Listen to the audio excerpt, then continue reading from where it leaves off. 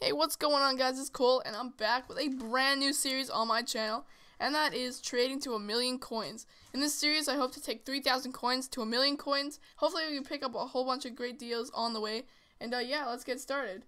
So as you can see, we purchased a whole bunch of Danny Welbecks for 300. Uh, we're trying to list them up for 500. Hopefully they do sell.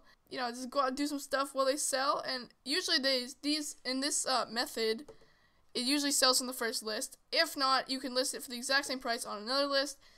Um, that is just, it's a, it's a great method for if you have small amount of coins. If you guys do want to see that method, uh, I can make a video for guys. If you do, leave it in the comments. And as you can see, everything did go on and sell.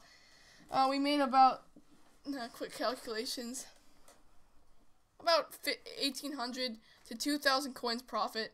I might be wrong, but as you can see, we go in and we do a whole bunch of more trading. We have a second batch. Uh, I did a 250 coin method in silver, and I did max 300 Barclays Premier League, which is the method I was talking about. As you can see, we're going to list all the gold ones up first because it is the ones that I'm pretty sure will sell. Because the silver ones, I do have to look into the prices. Um, we get two Kostiches from, I think it's Stuttgart for 300 coins. I think it's 250 coins. So we list those both up, both up for 600 and 650. Hopefully they do sell. And we get this Brown from Colorado Rapids. Um, picked him him up for 250 coins. We're not gonna be making a whole lot of profit on him as his pro his lowest buy now was pretty low. Um, you have to you have to really take risk about these. Some of these do not list or get sold in the first wave of trading as you see something instantly sells. But we picked up two very great deals. Uh, not the deals of the episode, but they're pretty good. We get Eric Hurtado from uh, the Whitecaps for 250 and 250 again. We're going to list those up for 700 and 650. And uh, you'll see if those do sell. But uh, yeah, we pick up Robbie Cruz from, I think, his buyer labor Houston, I think. Uh, sell him on for a few coins profit. We pick up Coffee from Whitecaps again. Sanogo, Altidore, in Toronto. Uh, pick him up for around 250 coins, 300 coins. Try and sell him on for a thousand coins. That'd be a great amount of profit after he sells. But yeah, I guess you'll just have to see. Sanogo looks like he might be a trade from Arsenal. I don't know. I feel like I've seen him before, but he does play for Crystal Palace. We're gonna list him up for about 400 coins, 350 coins. And the last trade of this batch is Flanagan, the non-rare, and we get him for I think it was 250 coins. We try and sell him for 300.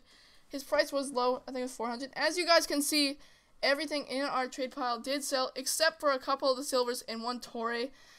But uh, all we had to do was relist, and yeah, hopefully they do sell. So yeah, all we have to do is relist those players, and we should be good. So as you can see, I picked up a few more of the gold players for 300 coins to 350 coins, and we're trying to relist them for 500. It did work previously, so I'm really happy about that.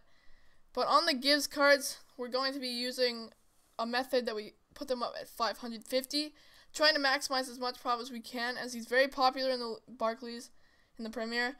Um, I guess uh, we just hope that he sells. It's great. It's great profit, around 200 coins each. And uh, yeah, we go into this Beister and we see that his price is around 600 coins.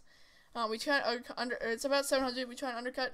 And this guy, I kind of made a mistake. I, I bought him for 300. Is there was a buy now for 400, so we put him up for 400. Then we pick up Schmelzer for 350 and we put him up for 650 so that there we go we saw shaw he he sells instantly which is really good and uh, as you guys can see everything in our trade pile did go on and sell um, i did have to lower a few prices on the two i think it's Kodich, Modich, Matic. I don't know what his name is. The guy from uh, Stuttgart.